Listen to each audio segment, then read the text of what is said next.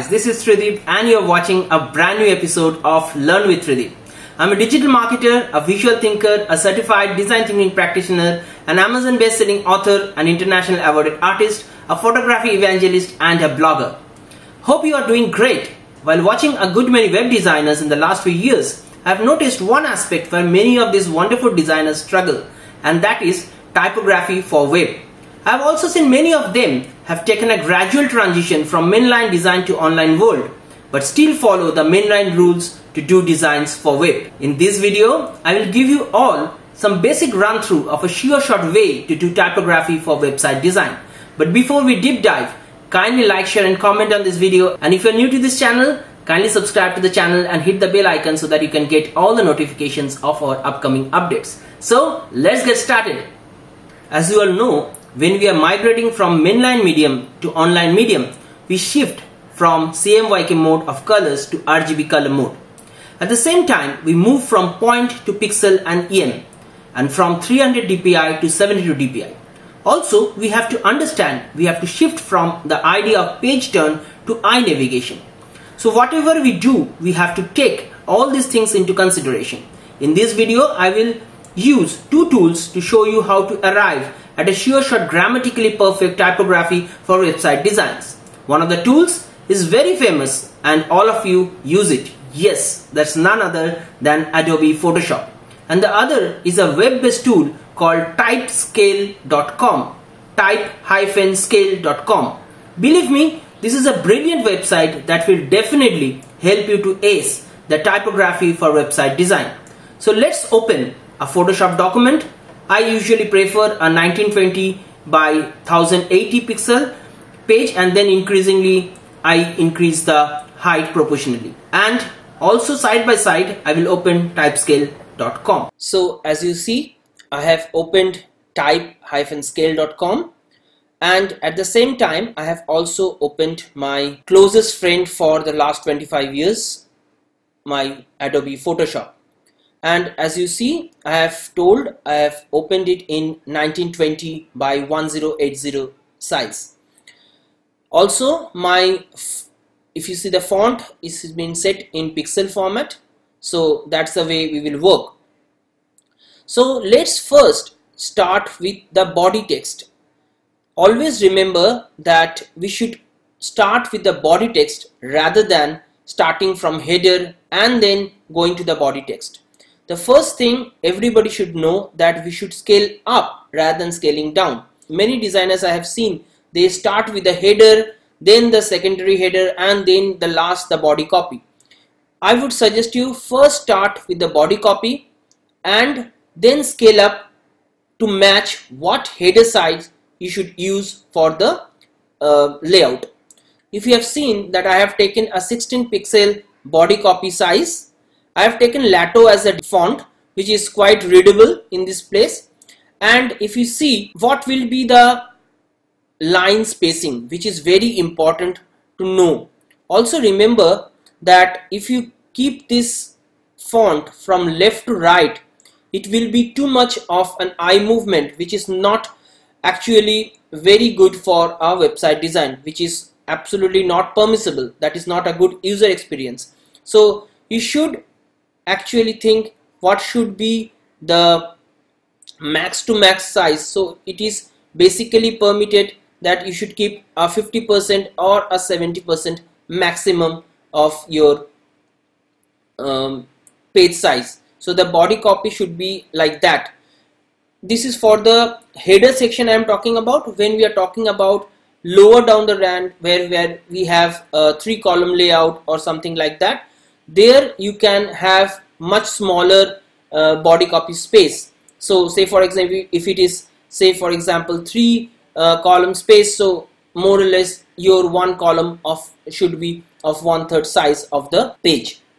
Okay so for the time being let us keep the font the body copy till this. Okay and always remember this hyphen is not actually a good way of doing things so you should just turn off this hyphenate over here so that your entire um, text flows in the next line. So what should be the usual line spacing? What should be the usual line spacing? So let's go to the character uh, tab. So by default if you see if you keep it auto this is the way a line is spaced in um, Photoshop but if you just go a bit back and try to read this thing you will see it is very difficult to read. So what should be the ideal line spacing of a body copy? It's very simple. For a 16 pixel font size just let us pull up our calculator. So for a 16 pixel um, font size ideally we should have a 145 percent of the font size as the line height. So almost like a 24 pixel 23 24 pixel should be your line size the line height. So let's just go to this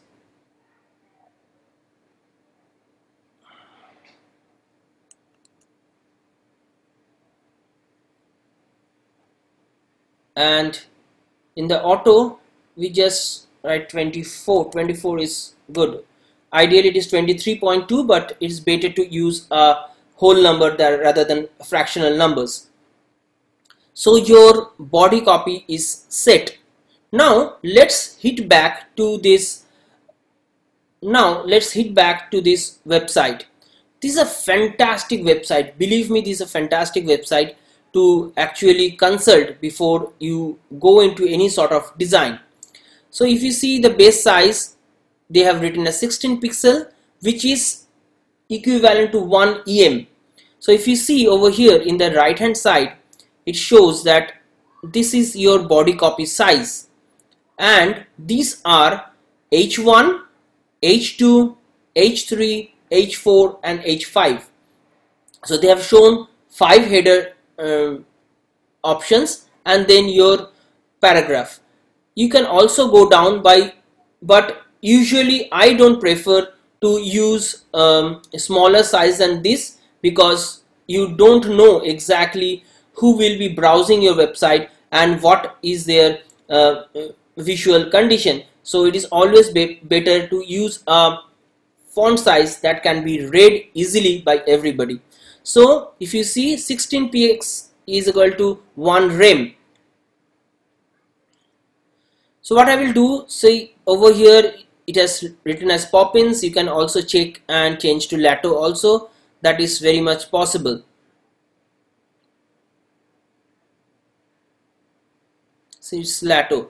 So the entire design change into Lato, which will which is very much um, similar which is actually the same one that we are using in our design.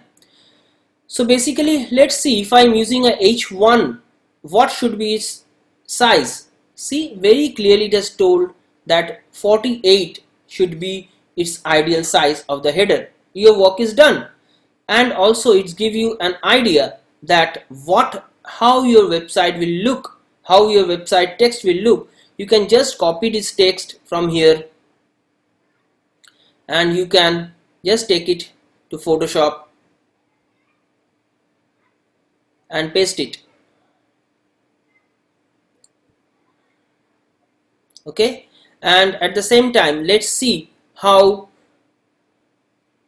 let us see let us type this is our header 1 text. Awesome and we should take it to 48 lovely. See this is so easily done over here. You need not to tax your brain for anything. See this is how Photoshop gives you all the options to align your text. So there should not be any sort of confusion where how to align your text or not. So what should be this height? Usually for a header one text we take uh, the percentage to 120 as the line height. So let's see what should be 120 of 48 so let us just bring up our calculator. I use 48 as our font size into 120 percentage. Usually like 56 57 58 should be the line height over here where what is the difference between the header one and the um, paragraph text? So what we will do we will simply take a selection a fixed size say say for example 56 is okay and I will just draw a square from the bottom of the text. Lovely. And I drag my margin over here.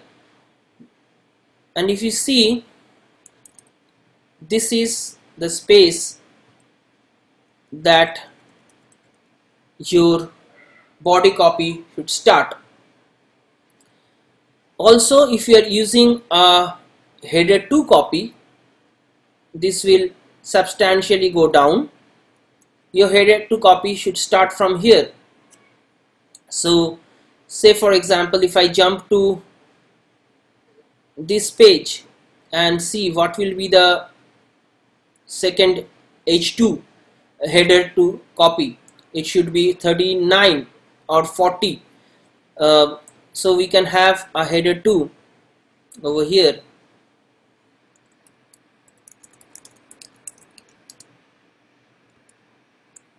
Not necessarily you have to always keep things in proper case. Your header 2 can be all caps. So let's see and uh, let's put this thing to 40 so that should be your header 2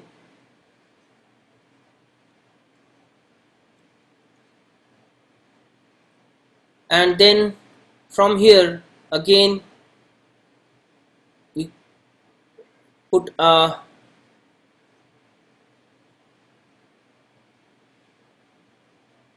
Fifty-six size box and take your text down over here. See how very well this particular layout is made. So if you want to check the alignment you can do that. Photoshop suggests you the alignment is a perfect aligned text copy. So your header is there which is 48 your header 2 is 40 it can be 38 also. I would not go for the higher side. I will go for the lower side. So I will take it to 40 to 38 so this is your entire layout. You cannot go wrong. This is a grammar. So how we have done it? We have first taken the body copy what should be its line heights. If you see by default um, I think the last file where I have done the work the um, horizontal spacing of the characters was already kept or the kerning was kept at 10 you can actually keep it 10 because 10 is a good um, uh, spacing for readability.